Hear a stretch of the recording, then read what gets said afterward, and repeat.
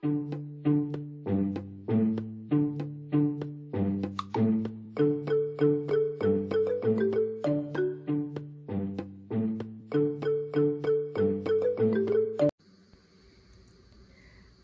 alaikum, Bismillah Rahman Rahim. Welcome to Safina's Living. कैसे हैं आप लोग? आई होप आप लोग अपने अपने घरों में खैरियत से होंगे। सो चलें आज एक बार फिर नई लज्जत, नए जायके और नई खुशबू के साथ अपनी रेसिपी का आगाज़ करते हैं। आज की जो हमारी रेसिपी है, वो मटन स्टीम रोस्ट रान की रेसिपी है, जो कि मैं रोस्टेड वेजिटेबल्स के साथ सर्व कर रही हूँ। बहुत डिफरेंट और बहुत यूनिक रेसिपी है। आप इसे मेरी रिकमेंडेशन पे ज़रूर ट्राई कीजिएगा। बकरा ईद के मौके पर बहुत ज़्यादा गोश्त खाया जाता है तो मैंने सोचा कि चलें इसको हम एक नई यूनिक ट्विस्ट के साथ रोस्टेड वेजिटेबल्स के साथ सर्व करते हैं। तो चलें आए मिलकर बनाते हैं। यहाँ पर मैंने तीन किलो की मटन की रान ले ली है, जिसमें मैंने डीप कट्स लगाए हैं। देखें इस तरीके से और साइड से इसकी हड्डी को आप थोड़ा सा ब्रेक कर लीजिएगा। एक बड़े बोल में हम मसाले के लिए तीन टेबल स्पून इसमें मीट टेंडराइज़र के गोश्त गलाने वाला पाउडर या कचरी पाउडर के लीजिएगा। दो टेबल स्पून आप इसमें खाने के चम्मच आप इसमें लेमन जूस डालिएगा। दो टेबल स्पून ही आप इसमें क्रश कीवी, हरी मिर्च और ढाई चम्मच आप इसमें कुटी हुई लाल मिर्च के डालिएगा। दो चाय के चम्मच आप इसमें ज़ीरा पाउडर और गरम मसाले के डालिएगा। और यहाँ पर मैं एक खाने का चाय का चम्मच में चाट मसाला और एक चाय का चम्मच में काली मिर्च पाउडर ले रही हूँ। दो चाय के चम्मच आप इसमें सॉल्ट के डालिएगा, नमक के। एक खाने का चम्मच आप इसमें लाल मिर्च पाउडर डालिएगा और एक चाय का चम्मच आप इसमें कश्मीरी मिर्च पाउडर डालिएगा। कश्मीरी मिर्च से इसका जायका बहुत अच्छा आता है। दो खाने के चम्मच आप इसमें तिक्का मसाले के डालिएगा, कोई भी ब्रांड के, इससे इसका जायका और इसका कलर बहुत अच्छा आ जाएगा। इसको अच्छी तरह मिक्स करिएगा। यहाँ पर मैं तकरीबन तीन चौथाई कप मैंने दही लिया है, जिसका पानी आप निकाल दीजिएगा बिल्कुल से, उसको थोड़ी देर हंग करके रखिएगा और इसमें मैं दो खाने के चम्मच लहसुन अदरक का पेस्ट डाल रही हूँ, उसको अच्छी तरह मिक्स करिएगा। ये देखिए इसकी कंसिस्टेंसी चेक करें, इतना गाढ़ा होना चाहिए। और अब हमारे पास जो रान हमने डीप कट्स लगा कर रखी हुई है, वो हम इसमें डालेंगे, रखेंगे और इसको अच्छी तरह से मैरिनेट करेंगे। ये मसाला आप इसमें बहुत अच्छी तरह मसल के रब करके लगाइएगा। ये जो हमने इसमें कट्स लगाए हैं, उसके अंदर तक मसाला रच बस जाना चाहिए। इससे इसका जायका बहुत अच्छा आएगा।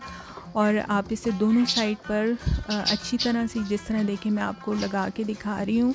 आप इसी तरह इसको लगाइएगा और उसके बाद हम इसे तकरीबन एक दिन के लिए आप इसको क्लिंग रैक एक दिन के लिए आप इसको फ्रिज में रखिएगा तो अगर एक दिन नहीं तो तकरीबन आप तीन से चार घंटे के लिए ज़रूर रखिएगा। ये देखें मैंने इसमें क्लिंग रैप लगा लिया है। आप इसको फॉइल से भी कवर कर सकते हैं बट क्लिंग रैप से ये ज़्यादा अच्छा कवर होता है।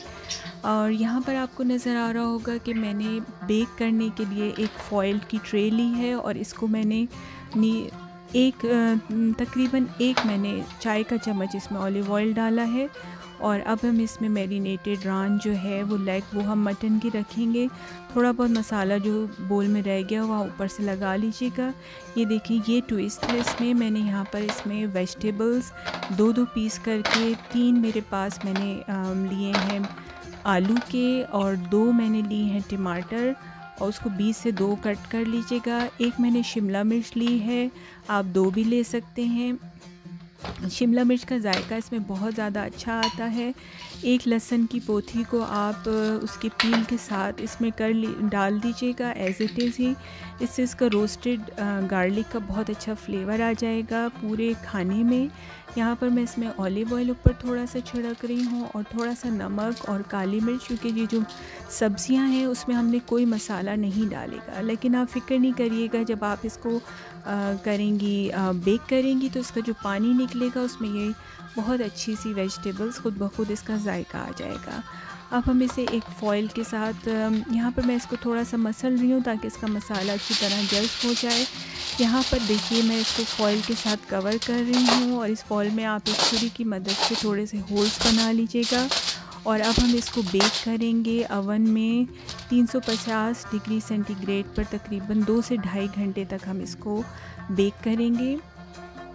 यहाँ पर आपको नज़र आ रहा होगा कि हमारी रान बेक हो गई है और अब हम इसको फॉइल हटा के तकरीबन 15 मिनट तक 500 डिग्री सेल्सियस पर हम इसको ब्रॉयल करेंगे ग्रिल करेंगे कलर देने के लिए। देखें कितनी खूबसूरत लग रही है, बहुत अच्छी ये रेडी हुई है, बहुत अच्छी इसकी खुशबू आ रही है वेजिटेबल्स की रोस्टेड गार्लिक की।